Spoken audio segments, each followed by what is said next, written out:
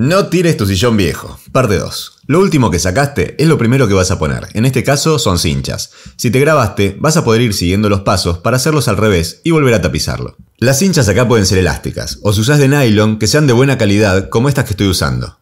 Se colocan usando el cinchador y entrelazadas para dar mayor soporte al asiento. Y ya sabes que tengo videos de cómo fabricar tu cinchador, cómo usarlo y cómo colocar las cinchas.